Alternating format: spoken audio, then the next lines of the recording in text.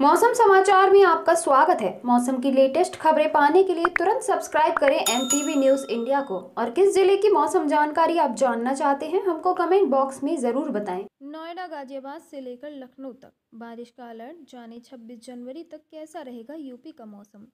आपको बता दें यूपी के कई जिलों में रात में बूंदाबांदी का सिलसिला जारी है। वहीं वीकेंड पर कुछ इलाकों में ओले भी पड़े थे। मौसम विभाग के मुताबिक उत्तर प्रदेश के विभिन्न जिलों में 26 जनवरी तक हल्के से मध्यम बारिश होने की संभावना है। आइए जानते हैं यूपी के मौसम का हाल। पिछले कुछ समय से एक के बाद एक पश्चिमी विक्षोभ के आने का सिलसिला जारी है, जिसका असर पूरे उत्तर भारत के मौसम पर देखने को मिल रहा है। उत्तर प्रदेश के मौसम पर भी इसका पूरा असर देखा जा रहा है। यूपी के कई इलाकों में सोमवार रात से बूंदाबांदी का सिलसिला जारी है। वहीं इससे पहले कुछ इलाके में ओले भी पड़े थे। मौसम विभाग के मुताबिक प्रदेश को जल्द इससे राहत मिलने के आसार नहीं हैं। इसके साथ प्रदेश में एक बार फिर ठंड बढ़ने वाली है। आइए जानते हैं उत्तर प्रदेश के मौसम का हाल। नोएडा में बारिश। ताज़ा मौसम की बात करें तो दिल्ली के आसपास के इलाकों में कल रात से हल्की बूंदाबांदी देखने को मिली है।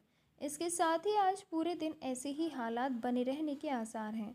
मौसम विभाग के मुताबिक नोएडा में 25 और 26 जनवरी को आसमान में बादल और हवाओं के साथ बारिश के आसार बने हुए हैं। हालाँकि 26 जनवरी को यहाँ बारिश से राहत मिल सकती है, लेकिन 27 से 29 जनवरी तक एक बार फिर हल्की बारिश देखी जा सकती है। इस दौरान न्यूनतम तापमान 13 से 14 डिग्री सेल्सियस के बीच रहेगा और अधिकतम तापमान 21 से 23 डिग्री सेल्सियस तक रह सकता है। मौसम की इस तब्दीली की वजह पश्चिमी हिमालय क्षेत्र सक्रिय पश्चिमी विक्षोभ है।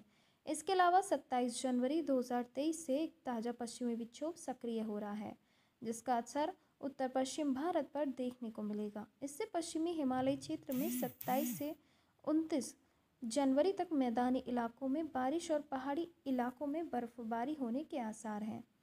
आगरा और बांदा समेत कई जिलों में बदला मौसम। आज फिर यूपी में बारिश के साथ ओले गिरने का अलर्ट। मिलते हैं इसी प्रकार की अगली वीडियो में। तब तक के लिए जय हिंद, जय भारत।